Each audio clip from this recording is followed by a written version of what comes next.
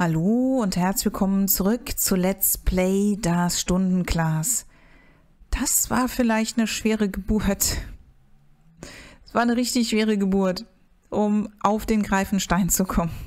Ich war zuerst auf dem Eisenstein oben, also dort, wo wir ganz am Anfang mal den Zauberer getroffen haben. Die Burg ist natürlich weg, weil andere Zeitsphäre und habe dann gedacht, dann kann ich oben vielleicht über den Grat des Berges irgendwie zum Greifenstein. Nein, das ging nicht.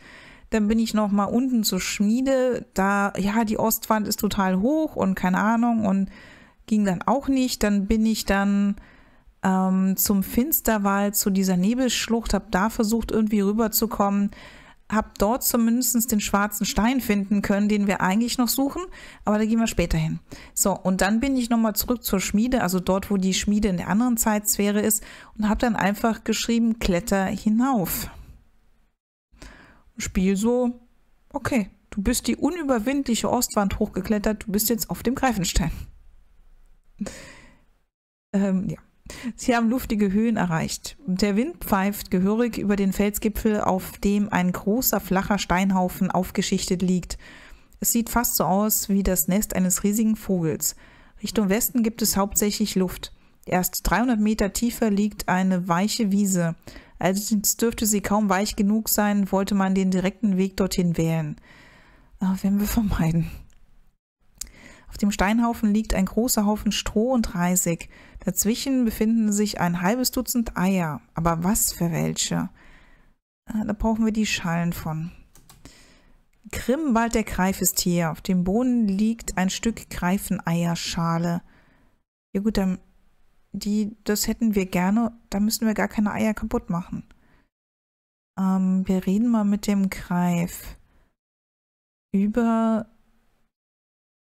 die Schalen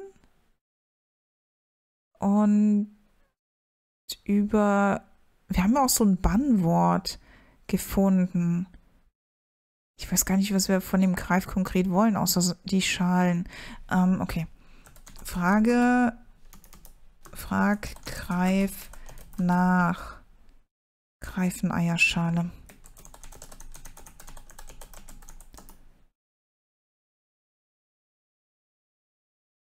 Grimbart grinst ein seltsames Vogelgrinsen.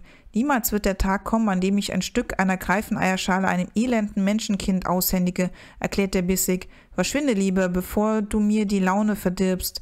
Der Greifs erblickt, verfinstert sich sein riesiges Vogelgesicht. Du? Knirscht er ungemütlich. Du bist schon wieder hier? Er rüttelt seine Schwingen. Es mutet wie eine Drohung an. Ich weiß schon, was du willst. Aber das schlagt dir mal aus dem Kopf. Bei mir gibt's keine Hilfeleistung. Weder Rundflüge ins Gebirge oder sonst welche Dinge, die du gern hättest. Hast du noch immer nicht gemerkt, dass ich kein Lakai bin? Sieh zu, wie du dir selbst hilfst. Und nun lass mich in Ruhe. Rundflüge ins Gebirge? Ich glaube, das Spiel hat uns jetzt mehr verraten, als es eigentlich wollte. Denn ähm, das hat mich jetzt auf eine Idee gebracht. Der Kreis scheint ja sehr groß zu sein und wir haben ja noch ein, ein Wunderholz- oder Wunderbaumholzproblem in dem anderen Gebirge. Aha. Okay. Das, das macht irgendwie Sinn, dass wir vielleicht den Greifen irgendwie dazu bringen können, uns dorthin zu fliegen. Aber wir haben ja auch ein Bannwort. Sollen wir das jetzt einfach sagen? Sag und dann aber la ma ha la Matandra. Stimmt das jetzt? Aber la maha la matandra. Das müsste stimmen. Bringt das was?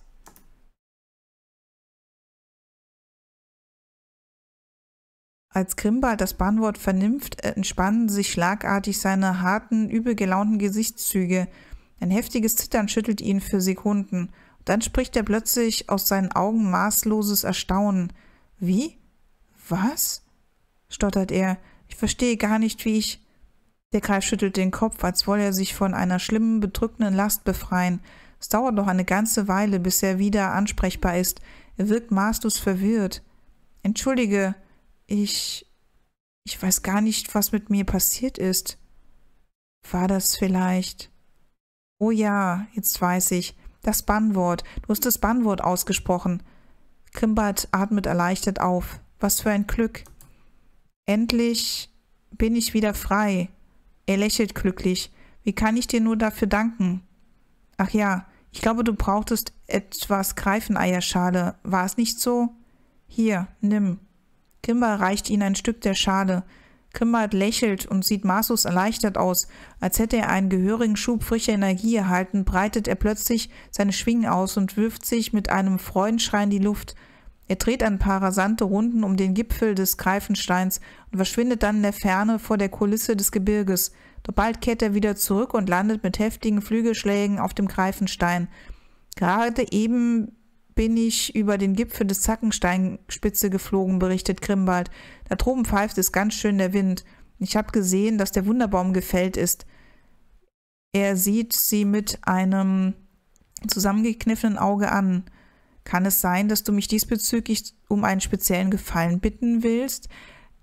Ja, ich habe schon überlegt, wie ich das dem Spiel jetzt beibringe, dass wir das haben wollen. Aber ja, ja. Das dachte ich mir, stellt Grimbald fest. War ja auch nicht schwer zu erraten. Also schön, dann will ich mal wieder den Transportflieger spielen. Der Schreiner wird ohnehin bald zu mir kommen, wenn sich herumspricht, dass das Bannwort ausgesprochen wurde. Da kann ich es, kann es nicht schaden, wenn ich schon mal ein bisschen übe. Los, steig auf meinen Rücken. Du kannst mitfliegen. Okay. Äh, okay. Steig auf den Greif. Kaum sitzen sie, wirft sich der mächtige Vogel in die Luft. Mit energischen Flügelschlägen gewinnt er an Höhe. Immer weiter geht es hinauf, bis schließlich das Tal unter ihnen so klein wie eine Spielzeuglandschaft ist. Nördlich fliegen die Nördlich liegen die gewaltigen, von ewigem Schnee bedeckten Gipfel des Zackensteingebirges. Erst von hier oben kann man die enorme Ausmaße richtig abschätzen. Grimbart fliegt nun mit erstaunlicher Geschwindigkeit auf den höchsten Gipfel des Gebirges zu. Es dauert keine Viertelstunde, dann erscheint die Südflanke des Berges zum Greifen nah. Noch einmal schwingt sich Grimbald mit heftigen Flügelschlägen aufwärts. Dann liegt plötzlich das kleine Gipfelplateau unter äh, der Zackenspitze vor ihnen. Wild rudernd und balancierend landet der Greif und faltet sorgsam seine Flügel zusammen. Er blickt sich um.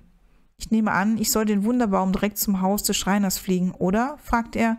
Äh, ja, das, also wir müssen ja aus dem Wunderbaum ja einen Sarg bauen für den Totengräber und da wir das nicht selbst zimmern wollen, ist der Schreiner, glaube ich, eine gute Wahl. Der Greif breitet seine Schwingen aus und springt auf den Stamm des gefällten Wunderbaumes. Ohne lange zu fragen, schließt sein Schnabel, schießt sein Schnabel vor, packt sie am Kragen und sie finden sich abermals auf dem Rücken des mächtigen Vogels wieder. Dann beginnt Krimbart machtvoll mit den Flügeln zu schlagen. Die Luft um sie herum wird wie in einem Orkan durcheinandergewirbelt, aber dann hebt der Greif schließlich ab. In rasanten Sturzflug schießt er die schneebedeckten Hänge und Felsabstürze herab. Es geht über schroffe Gipfel, messerscharfe Grate und bodenlose Schluchten. Doch schon nach einigen Minuten wird unten im Tal das Haus des Schreiners sichtbar. Halt dich fest, ruft Grimbald, und schon im nächsten Moment beginnt er wild zu rudern um den rasanten Sturz abzubremsen. Das Haus des Schreiners wird größer und größer. Und rums. Die Landung ist so unsanft, dass sie hilflos vom Rücken des Greifen herunterpurzeln. Grimbald erhebt sich auf seine mächtigen Krallenfüße, breitet die Schwingen aus und schüttelt sie. Ein Blick streift sie kurz, dann erhebt er sich mit mächtigen Flügelschlägen in die Luft. So, wir sind wieder auf der Heide und auf dem sicheren Boden.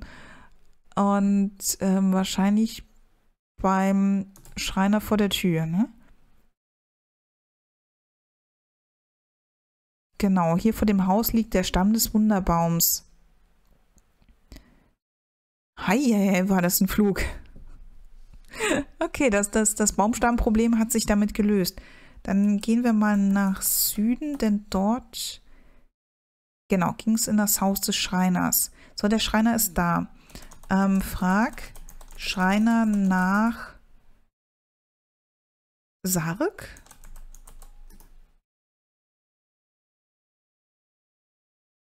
Was soll ich machen? fragt der Schreiner irritiert. Nen Sarsch? Er schüttelt den Kopf. Je doch zum Totengräber, der hat jede Menge davon. Ähm, wie bringen wir ihm das jetzt bei? Äh, frag Schreiner nach Wunderbaum.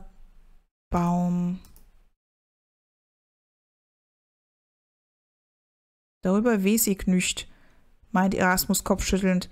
Warte, meint der Schreiner, hast du Wunderbaumholz gesagt? Da musst du zum Krämer gehen, der weiß mehr darüber. Du sollst da draus einen Sarg machen.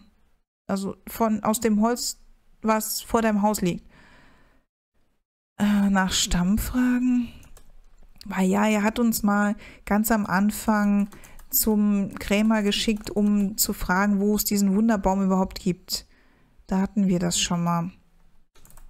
Aber nach Stamm? Darüber weiß er auch nichts. Vielleicht müssen wir auch zuerst zum Totengräber und dass er das dann mit dem Schreiner klärt. Weil sein Problem war ja zuerst mal, dass er das Holz nicht bekommt. Und ich denke mal, normalerweise macht der Schreiner auch die Särge für den Totengräber. Denke ich mal. Okay, Karte.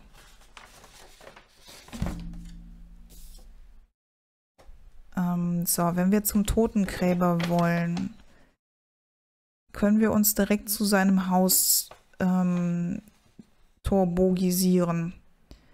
Da müssen wir hier zuerst mal einmal nach Osten. Jetzt erstmal nach Norden, denn wir sind ja im Haus. Norden. Ah ja, und wir müssen ja noch am Friedhof buddeln, aber das verschieben wir mal später. Ja, hier liegt der Stamm vom Wunderbaum. Äh, Osten. So, da muss ein Torbogen sein. Und mit dem Torbogen können wir uns zum Totengräber turbogisieren. Zwar war das die Nummer 8. Steck. Ähm, Münze 8 in Schlitz. So, betrete Torbogen.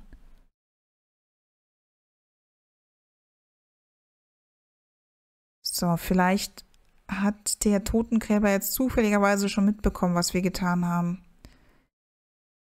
Äh, so, das Haus des Totengräbers.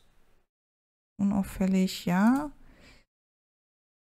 Ja, und da lehnt halt auch die alte Schaufel, die wir haben möchten. Okay, dann war das, glaube ich, nach Norden ins Haus.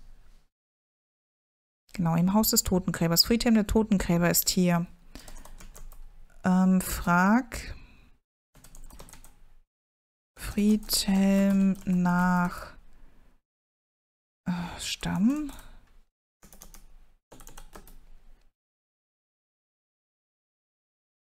Darüber weiß er nichts. Frag Friedhelm nach äh, Wunderbaum.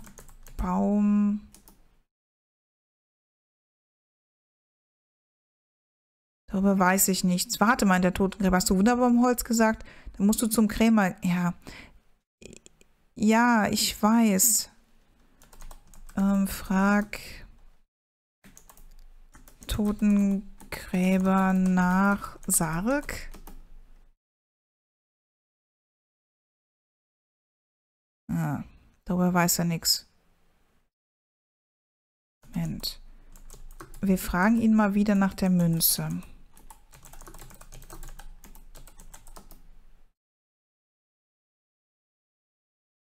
So, was? Meine Münze willst du? Ja, das ist seine Kostbarkeit. Ich würde sie gerne hergeben. So, sein Herzenswunsch. Frag Totengräber nach Herzenswunsch.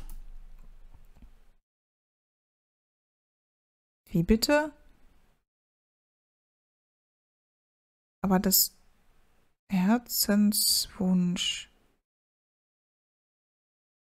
Wie hatten wir das denn erfahren?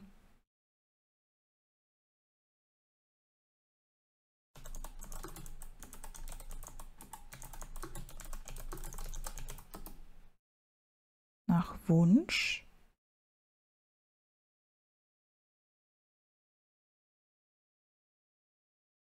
Ähm ich würde nicht so gerne hergeben. Ich glaube, sie ist eine Menge wert. Friedhelm krümmt eine. Naja, mein Herzenswunsch werde ich mir damit nicht erfüllen. Ach so, wir hätten Ja sagen müssen. Mist, ich hab's vergeigt. Okay, nochmal.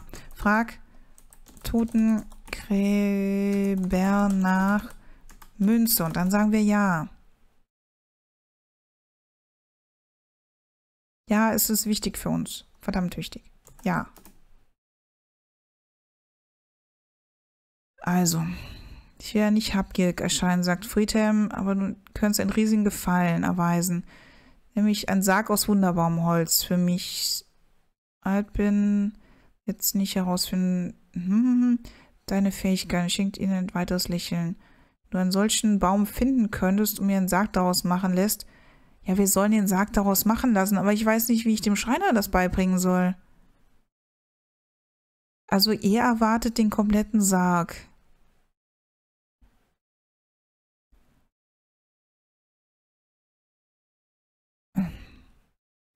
Ich schicke euch mal eine Mini-Pause und probiere mal ein bisschen rum, wie ich dem Schreiner jetzt beibiegen soll, dass er diesen verdammten Sarg macht. Oh, drück mir die Daumen.